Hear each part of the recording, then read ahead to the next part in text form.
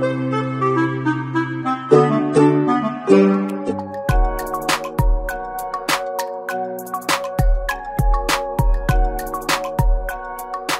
ี่คือโบสถ์นะฮะแต่ว่าต้องบอกว่าเป็นโบสถ์ที่ไม่ธรรมดา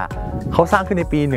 1914 ชื่อว่าคาเ e ล่าเดลบาเลโ o นะครับเป็นโบสถ์ที่ก็แบบชาวไร่ชาวนาเวลาเขาเจออากาศเลวร้ายเนี่ยเขาก็จะหลบเข้ามา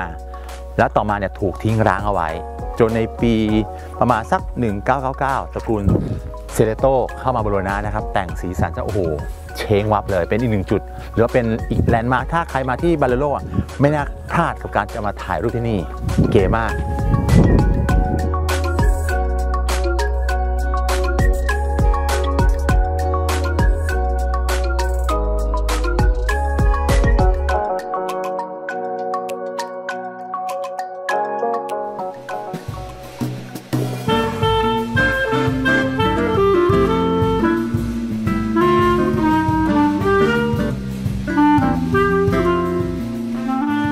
อาหารประจำของเรา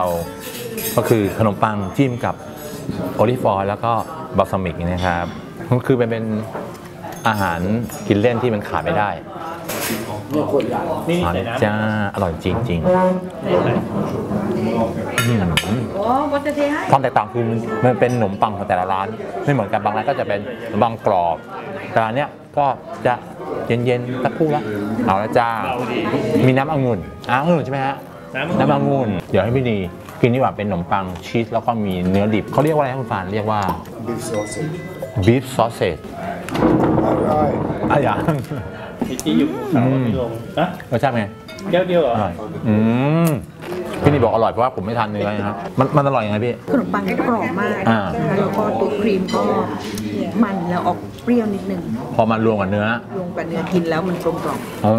มนั่นคือที่มาของเขาว่าอร่อยมันลงตัวทั้งขนมปังทั้งตัวชีสแล้วก็ตัวเนื้อ เป็นที่มาของเขาว่าอร่อยแล้วก็กลมกล่อมคุณตุ้ยทานอะไรอะ อันนี้เป็นเนื้อนะครับอะแล้วก็เอ่อ รู้สึกว่าตัวครีมเนี่ยเขาทำผสมด้วยด้วยเอ่อทูน่าทูน่าทูน่าแล้วเรากินจากขนมปังกรอบอ่านะอร่อยมากอร่อย นอกจากเขาว่าอร่อยมีคำอื่นไหมเกินบรรยายกำบรรยายดีไม่ดีดีมาก ยังไงอะดียังไง คือมันได้ทั้งความเป็นทูน่าแล้วก็เนื้อนะครับเนื้อที่แบบมันไม่ค่อยสุกเท่าไหร่อืมแล้วกินกับขนมปังกรอบมันเข้ากัน อ๋อ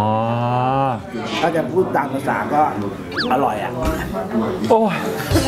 เราก็คิดว่าเป็นคำอื่น อร่อยอะครับ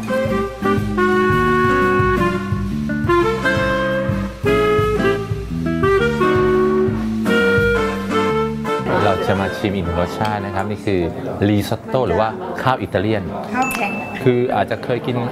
ข้าวผัดสเปนนะ ข้าวผัดสเปนเนี่ย เวลาเขากินนะเขาเวลาเขาผัดนะ ฝาหอยก็ลงไปทั้งฝาทุกอย่างลงไปหมดโดยไม่ต้องแกะ แต่นี่คือเป็นข้าวแบบอิตาเลียน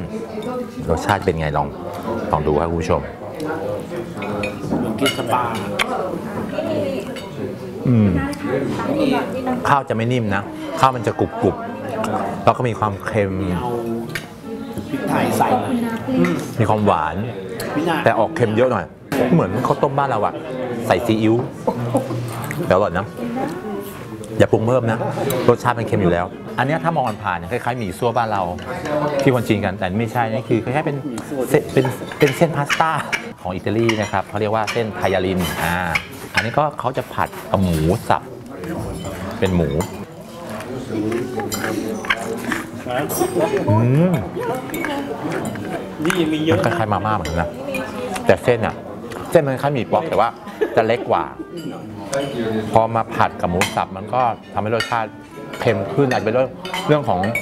ของสไตล์ของเขาแหละ ก็เป็นอาหารกินเล่นได้เหมือนกันอีกอย่างหนึงอันนี้เหมือนเกี๊ยว เหมือนเกี๊ยวบ้านเรา เหมือนเกี๊ยวหมูอะแต่เล็กกว่าเขาเรียกว่า ลาเวลี่ลาเวรี่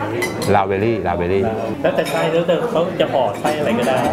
ก็เหมือนเกี๊ยวบ้านเราจะใส่ห่อห่ออะไรก็ได้ห่อกุ้งห่อหมูห่ออะไรอย่างเงี้ยจืดๆมีแต่ความมันถามว่าอร่อยไหมบอกแม่ว่าอร่อยไหม มันมีแต่ความมันแล้วก็ก็โอเคอะดาเวลี่รู้สึกข้างในจะเป็นไส้หมูเต็มหมูเหรอไส้หมูอืมอย่างนี้คือถ้าเราจะราเมงก็ผสมข้างในจะเป็นแบบผสมเครื่องเทศมากินเถอะก็เรากินแล้ว ก็คือเหมือนกับแบบเกี๊ยวอะไม่มีรสชาติเนาะมันจะออกมันๆอย่างเดียวเกี๊ยวคำนะโอ้โหคำใหญ่มากอะอันนี้คือไม่ได้เป็นการเทสนี่กับกินให้อิ่มเลยอะ ไม่ได้เทสที่คุณเสิร์ชบอกเลยเหมือนมันมีป๊อกอืมเส้นมันเนาะแต่ว่าเส้นมันเล็กมันจะเล็กกว่าผัดกับหมูสับได้รสชาติอร่อย อืมเค็มอยู่แล้ว คือมันเป็นหมูที่แบบว่าเขาต้องทำค้างเนี่ยเขาเรียกว่าเหมือนแบบทำให้มันดรายแห้งอะไรเงี้ยเสร็จแล้วเนี้ยเขาเอามาต้มเหมือนกับทำผ่านกระบวนการเพื่อให้มีการเก็บรักษาได้นานเนี่ยเสร็จแล้วเอามาต้มใหม่ มันก็จะมีความหืนของมันเรากินแล้วมันจะมีความรู้สึกว่ามันมีหืนนะแต่มันจะไม่เหมือนแบบบ้านเราอะบ้านเราได้กินเกี๊ยวสดสดหมูสดสดอะไรเงี้ยเนาะมันก็จะมีความรู้สึกว่ามันจะไม่มีกลิ่นหืนแต่นี่มันจะมีความความแบบหืนหืนเครื่องเทศแบบหืนน้ำมันอะไรเงี้ยที่มันเบ็ดหืนเราอาจจะไม่ชอบ แต่ชอบนะชอบเส้นมากเพราะเหมือนเขาทำสดอะเป็นโฮมเมดเนาะ